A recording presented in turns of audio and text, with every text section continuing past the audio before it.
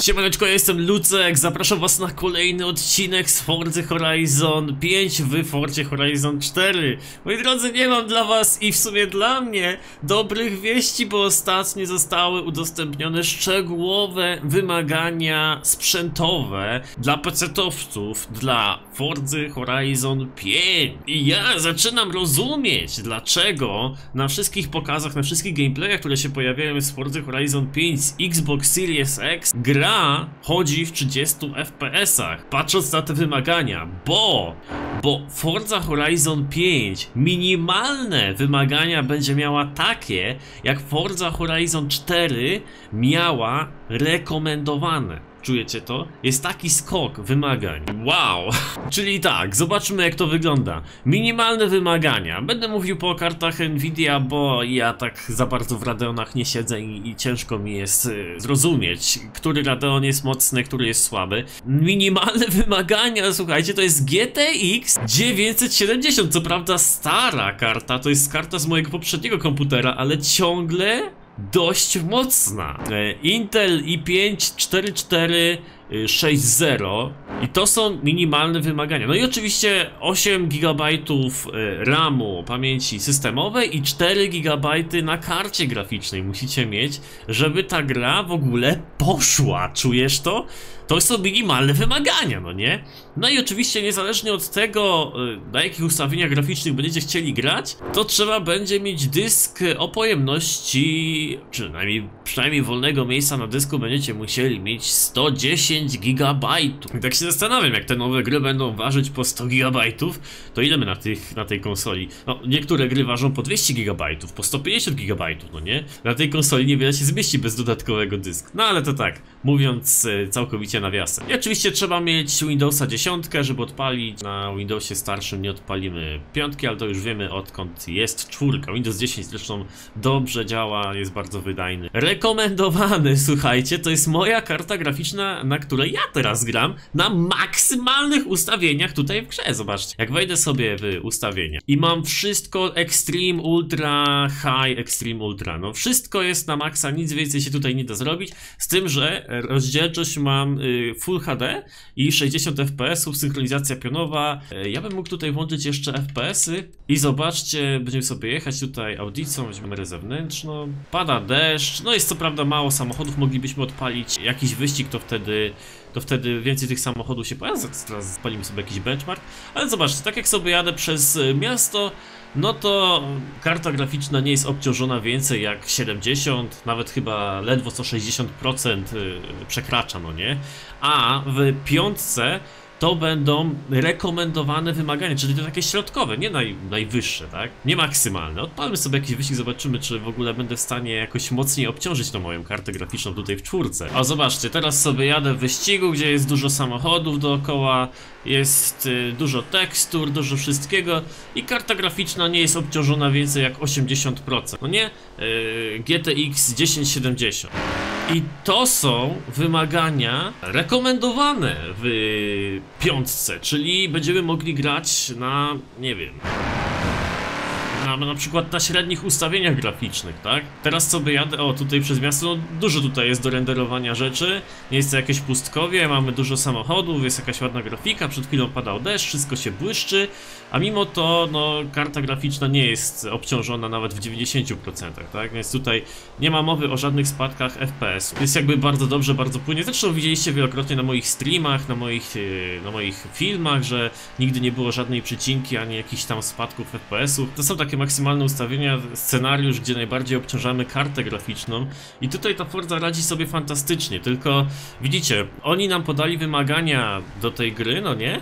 Ale nie napisali jakby jakie ustawienia oni mają w grze. Czy na przykład grają na rozdzielczości 4K, gdzie w ogóle mi widzę potrzeby grać na takiej rozdzielczości. Ja osobiście nie, ale może ktoś będzie chciał sobie PC-ta podłączyć do jakiegoś większego ekranu i wiesz, mieć super, super rozdzielczość i widzieć też te detale i będzie chciał grać w 4K, no to jak najbardziej, no to wtedy, to wtedy może te ustawienia, bo mi się wydaje, że one są trochę zawyżone. Ja wiem, ta gra, ta gra będzie wyglądała pięknie i, i w ogóle, ale no kurde, 3080 maksymalne, no to jest masakra dla mnie trochę. 1070 w środku, no to chyba będą ustawienia takie średnie, tak? Czyli rozdzielczość, yy, tak sobie to wyobrażam, Full HD i plus jakieś tam średnie ustawienia graficzne. No, Patrząc na to, jak Xbox Series X obsługuje Forza Horizon 4, czyli bez problemu 60 fps, piękna grafika, no taka trochę gorsza niż ja tutaj mam na maksymalnych ustawieniach, ale jednak jest dosyć dobra. Tak bym powiedział, że Xbox Series X, jeśli chodzi o takie, taką moc obliczeniową, przekładać to na, na Fordze, to jest troszeczkę słabszy od tej mojej konfiguracji, którą mam teraz, czyli to jest taki procesor już dosyć stary, chyba z 14 roku, karta graficzna chyba z 15 roku, jakby są to takie stare podzespoły, ale które dalej dają radę, no nie? I ten Xbox mniej więcej taką moc obliczeniową y, ma, jeśli chodzi o Forza Horizon 4. I tak y, trochę to rozumiem, że kurczę, na tych wszystkich pokazach tylko 30 FPS-ów, no. Jesteśmy na średnich ustawieniach i w Fordzie Horizon 5 będziemy mieli ustawienia e, takie średnie na tym sprzęcie, na którym ja mogę tutaj grać na maksymalnych ustawieniach. Więc ta grafika naprawdę będzie chyba fantastyczna. Chociaż musicie brać pod uwagę jeszcze jedną rzecz, że Forza Horizon 4 jak wychodziła, ona też miała wyższe wymagania minimalne. Dopiero po jakimś czasie twórcy Forza Horizon 4 wprowadzili optymalizację gry, że można było ją odpalić na karcie graficznej, tam chyba GTX 650 Ti, jak karta jest w minimalnych ustawieniach graficznych, no nie? I można było tę grę odpalić na takiej starszej karcie graficznej. Możliwe, że z czasem twórcy też prowadzą jakąś taką optymalizację, że na przykład teren będzie się doczytywał w jakiejś tam bliskiej okolicy gracza, ale dzięki temu będzie można odpalić tę grę na, na jakiejś tam słabszej karcie graficznej, no nie? Wymagania są wybujałe dla mnie, ja jestem zaskoczony, więc tak, jedziemy dalej. Jesteśmy na ustawieniach średnich, tutaj Intel i5, 800, 8400, oczywiście Windows 10, mamy 1070 kartę graficzną, czyli taka jak moja w tym komputerze, no i mamy 8 GB pamięci RAM dla karty graficznej i 16 GB pamięci systemowej, czyli RAM takiego, taki RAM przypięty do płyty głównej.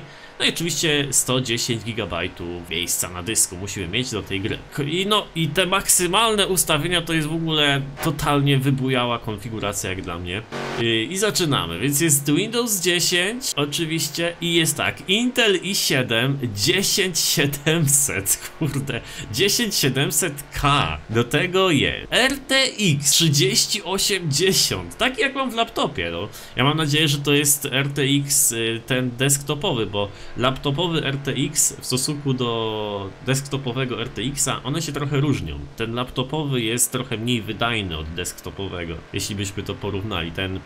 No i mamy 10, 10 gigabajtów pamięci graficznej. 10 GB pamięci graficznej. Ja pierniczę.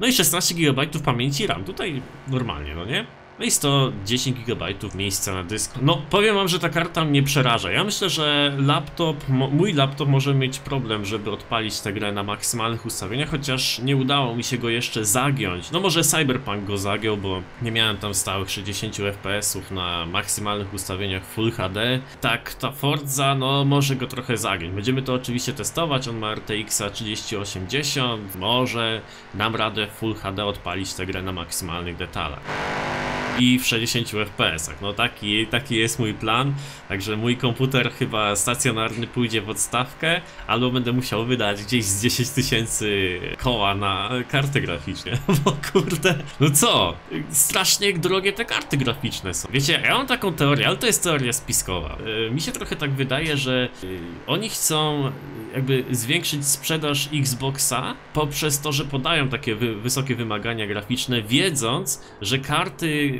graficzne są trudno dostępne i są bardzo drogie, jeśli już są dostępne, no nie? Więc wiedząc to, no ludzie będą chętniej chcieli kupić sobie Xboxa i grać na tych maksymalnych ustawieniach graficznych i będzie można pograć w Full HD albo, tam będą pewnie dwie opcje albo trzy opcje do wyboru, gdzie będziemy mogli ustawić grę na przykład w dużej rozdzielczości, czyli 4K i na przykład będziemy mieli do wyboru płynność 30 fps albo 60 fps, niższa rozdzielczość jakieś tam średnie ustawienia, no nie? Pewnie na konsoli nie będzie można tego ustawić szczegółowo tak jak na PC, także docelowo ja będę grał na PC, chyba że PC faktycznie żaden z moich PC-ów nie będzie dawał rady na najwyższych ustawieniach, to wtedy w ruch wejdzie konsola albo będę grał na niższych ustawieniach na PC. Wymagania są kosmiczne, ale nie lękajcie się. nie lękajcie się.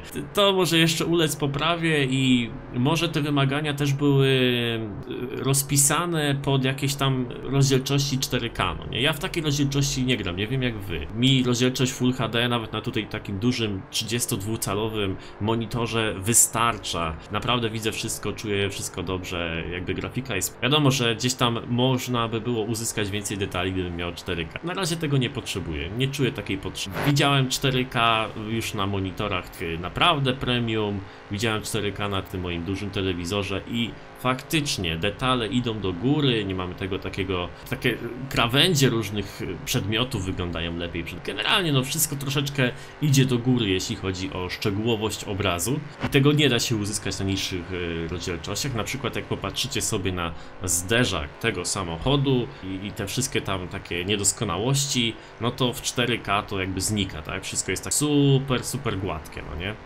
Także też nie mam pojęcia na jakiej rozdzielczości, na jakich ustawieniach oni robili te, te, te wiesz, te, te, takie wymagania sprzętowe, ale myślę, że nie ma się czego bać w gruncie rzeczy. Jak ktoś ma Xboxa One, no to będzie mógł zagrać w Forza Horizon 5, ale jak ta Forza będzie wyglądać, go już się chyba nie dowiemy, a? Xbox One to jest stara konsola, kurczę. Ja mam, mam wrażenie, że będzie tam chodzić 10 FPS-ach i spadać do, nie wiem, 20 czasami. Jeśli wymagania sprzętowe są tak wysokie, jak tutaj widzimy, bo są wysokie. No nic, tak naprawdę w praniu, w praniu się dowiemy, jak to będzie wyglądać. Ja też pewnie gdzieś tam przedpremierowo będę Forza Horizon 5 testował, także na pewno u mnie wcześniej dowiecie się o tym, jak to wygląda od, od strony technicznej, wszystko wam opowiem, także nie macie się co przejmować. Będę waszym takim źródłem informacji odnośnie tego. To chyba wszystko, wyczerpałem temat, sorry, że tak chaotycznie dzisiaj opowiadałem, ale kurczę, jestem trochę podjarany tymi wymaganiami, bo z jednej strony one mnie przerażają, a z drugiej strony napawają nadzieją, że faktycznie ta grafika będzie dużo, dużo lepsza niż w Fordzie Horizon 4. Miejmy nadzieję, a tymczasem żegnam się z wami, trzymajcie się na razie, hejas.